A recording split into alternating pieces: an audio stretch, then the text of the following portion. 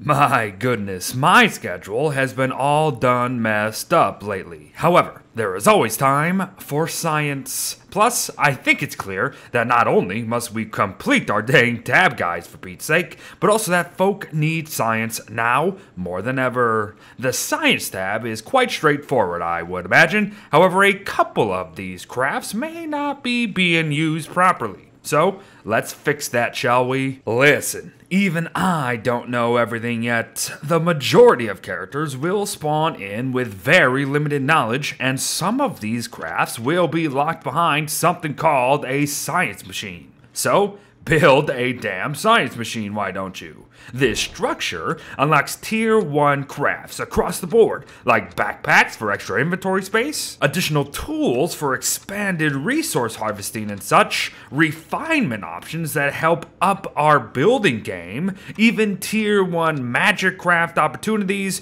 and so much more. And I think the description says it all, so unlock new crafts today. But before we continue to up our science game itself, let us discuss some specific science crafts that have just now been unlocked. Like the thermal measurer here. And by the by, I just realized after all these years that it is called the thermal measurer, and not just the thermal measurer, but what have you. And I believe Wolfgang explains it eloquently. When it's approaching winter, the measurer will drop, but as summer approaches, it goes up. It's a bloody, overgrown thermometer. Only it measures the air temperature in order to indicate what season you are approaching. And it's really only useful for those who haven't learned the season lengths yet, or for those looking to fill out their base. And the same could very likely be said of the rainometer. However, I see more potential in knowing upcoming weather over temperature. Unless, of course, you're playing Maxwell, who does make just an excellent point,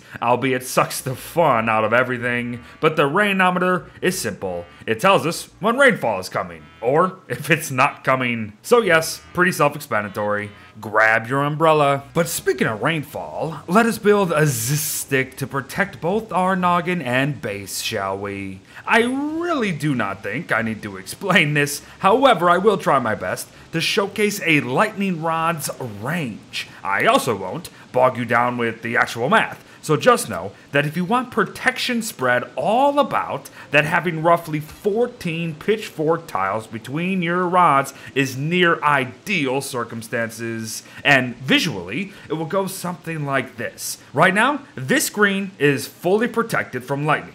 But as I move about half a screen over, this section is actually still under the same protection from that same rod. However, move another half a screen or so though, and you will certainly need more rods. But again, the 14 tile method will work just fine, so try to stick to that. Ah, yes, the directional information transmitter for our flesh sidekicks, aka the cartographer's desk. Placing this down grants access to the very limited cartography tab and the map scrolls within it. Making these map scrolls should really be the person with the most amount of map, uh, mapped. As map scrolls, simply copy your entire map for others to read and learn instantly. Which, as you can imagine, is wonderful for newer players entering a game, as they can just read one of these scrolls and hopefully get your map as soon as possible. Webber has always wanted pottery lessons, and the Potter's Wheel here can give them to him.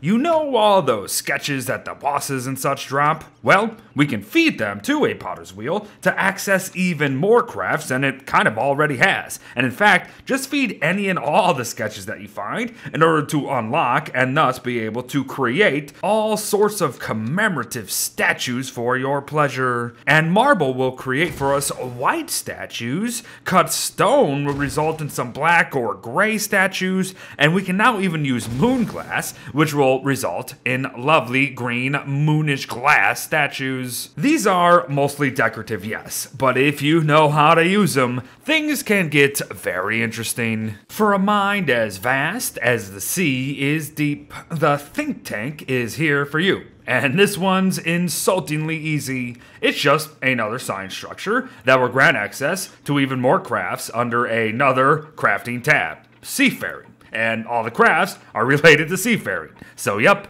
that's it. However, if we want to finally up our science game for the last few crafts here, we must construct some new materials ourselves beforehand the electrical doodads. And you know, I won't even pretend to know how these things actually work. However, I can tell you that they go into a crap ton of other crafts across the Don't Starve experiences, like ice cubes for our heads, flingomatics, cold fires, fancy weapons and clothing, character specific crafts, and much more. And yup, these doodads certainly are stepping stones to bigger and better things. Like alchemy engines. Using the newly opened up refinement tab and such, we can get the materials needed to, yup, you guessed it, unlock even more crafting recipes. An alchemy engine grants access to all tier 2 and 3 crafts that aren't just tied to magic pretty much, so you now can truly learn some unspeakable things. And quick note that people just continue to question for whatever reason,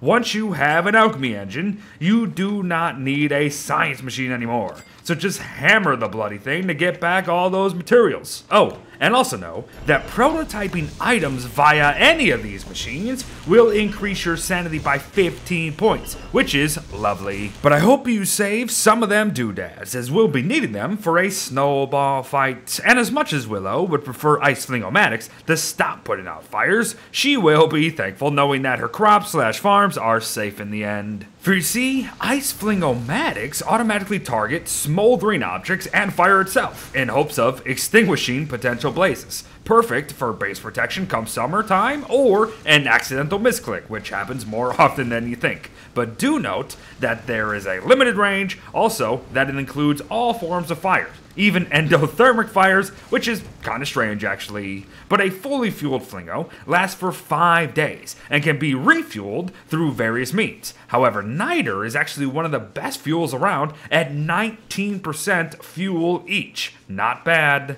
Ice Flingomatics also protect your plants from withering in the summer heat. However, it's only gonna happen if it's on. Again, and Don't Starve Together, Flingos have an emergency mode, which will only activate once a fire nearby becomes big enough for it to do so, but even then, the Flingo won't spring into action automatically until 15 seconds have passed, so you best pay attention to that beeping and turn it on, or else you're going to be losing some stuff along the way.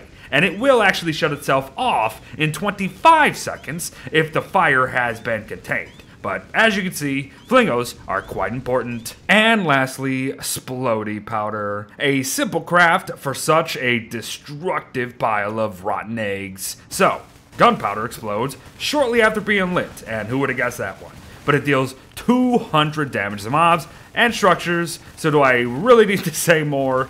Things are just gonna go boom. But there you have it, everyone. The Science tab. Sure, there are actually some other things within it, but they are event only structures and things, so we're not really gonna talk about them. But the Science tab is a gateway to bigger and better things, pretty much, with a few extras thrown into the mix for your pleasure. So hopefully we actually see more science crafts in the future with like a Wilson WeWork or something. But thanks for watching, well wishes to all, and I'll see you in the next one. Bye bye.